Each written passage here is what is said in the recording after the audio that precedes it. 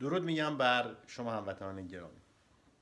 یکی از مشکلات اساسی که ما ایرانی ها داریم توی خارج از کشور به خصوص وقتی که می‌خوام اینجا وارد دانشگاه بشیم و مقاطع مثلا فوق لیسانس و دکترا بخونیم مشکل زبان انگلیسیه.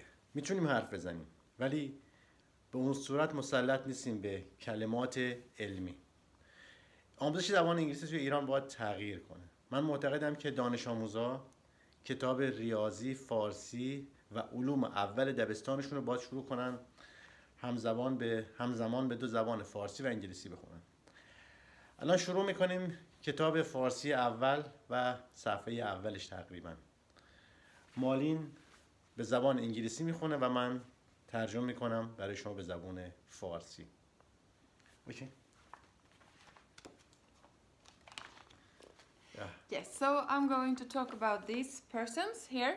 من الان میخوام درباره این شخصیت ها صحبت کنم So there are um, there Okay, is- turn it. That's okay. okay.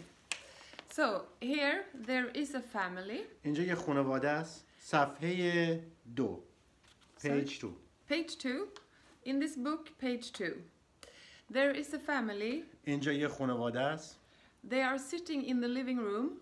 اونا تو اتاق نشیمن نشستن There is a father, a mother, یه پدری هست یه مادری and two children. و دو تا بچه There is a little boy یه بچه پسر کوچیکیه and a little girl. و یه دختر کوچیکی The mother is reading for her daughter, مادر داره برای بچهش کتاب می‌خونه می‌خونه and the father is reading for his son. و پدرم داره برای پسرش کتاب می‌خونه In the living room, there is a, a, a clock توی اتاق نشیمن یه ساعته and there is a television. یه تلویزیونه There is a shelf with books in it. یه قفسه هست که توش کتابه There is a table uh, with fruits on the top.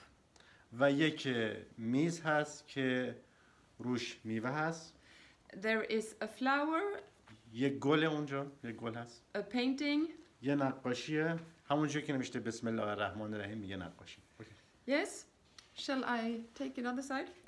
Uh, so there is the father, and this the mother, and the daughter and the son. آزاده امین Amin. That's Amin. یا And that was آزاده Azadeh. اوکی این صفحه دوم کتاب بود درس اول